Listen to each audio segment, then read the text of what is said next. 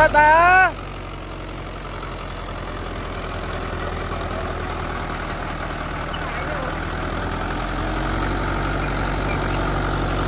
ਖੜੇ ਰਹੋ, ਜਾਣ ਦੋ ਸਿੱਧੇ ਹੀ।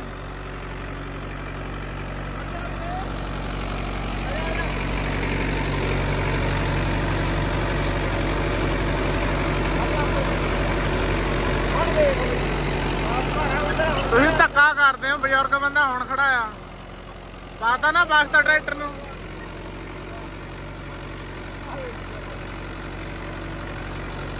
ਲੀਵਰ ਵੀ ਦਿਖਾ ਦਈਏ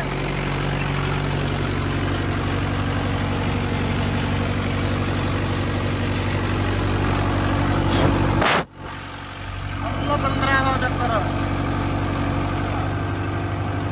100 ਹੀ ਚੱਕਰ ਤੋੜਦਾ ਝੋਟਾ ਲੋ ਸਿੱਧੂ ਬਾਅਦ ਹੁਣ ਰੱਬ ਦਾ ਨਾਮ ਹੀ ਆ।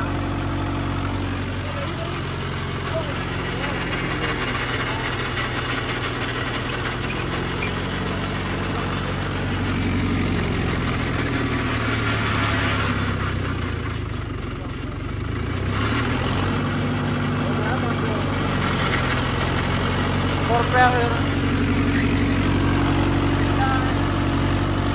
ਇੰਨਾ ਹੁਣ ਤੁਰੀ ਜਾਂਦਾ ਵਿਚਾਰਾ ਥੋੜਾ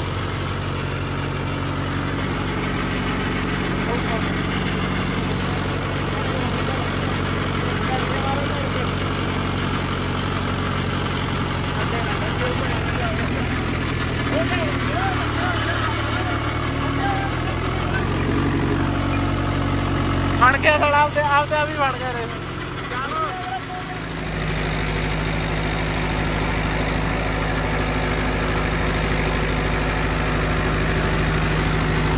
ਤੂੰ ਕਹਾਂ ਦਾ ਬਾਈ? ਰੱਬ ਦਾ ਨਾਮ ਆ। ਮਿੱਟੀ ਤੋੜਨੇ।